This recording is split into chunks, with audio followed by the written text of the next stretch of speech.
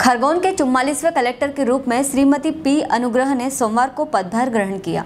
Collector Shrimati Anugrah ने पदभार ग्रहण करने के पश्चात कोरोना संक्रमण के संबंध में आवश्यक जानकारी जिला पंचायत सीईओ गौरव बैनल से प्राप्त की। इस दौरान उन्होंने संक्रमण संख्या, मृत्यु, COVID care centre, home isolation, containment area और एमएमयू दलों के संबंध में जानकारी प्राप्त की। वहीं उन्होंने विस्तृत जानकारी के लिए प्रभारी सीएमएचओ डॉक्टर दिव्येश वर्मा से स्वास्थ्य विभाग के संबंध में जानकारी ली। इसी के अलावा कलेक्टर श्रीमती अनुग्रह ने अपर कलेक्टर, एसडीएम, संयुक्त कलेक्टर, डिप्टी कलेक्टर, तहसीलदार, नायब तहसीलदारों से जानकारी प्राप्त की। खरगोन से अजय तिवारी की रिपोर्ट। हेलो फ्रेंड्स, आप देख रहे हैं हमारा channel S W twenty four news. हमारे सारे वीडियो सबसे पहले देखने के लिए आप हमारे चैनल को सब्सक्राइब करें और पास में लगे बेल आइकन को दबाना बिल्कुल भी ना भूलें।